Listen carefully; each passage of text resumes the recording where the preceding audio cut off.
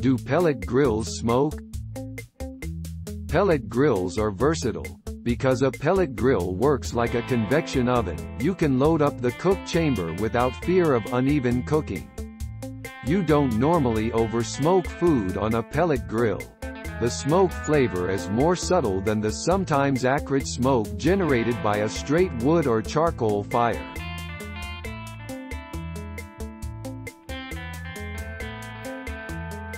Thanks for watching. Please subscribe.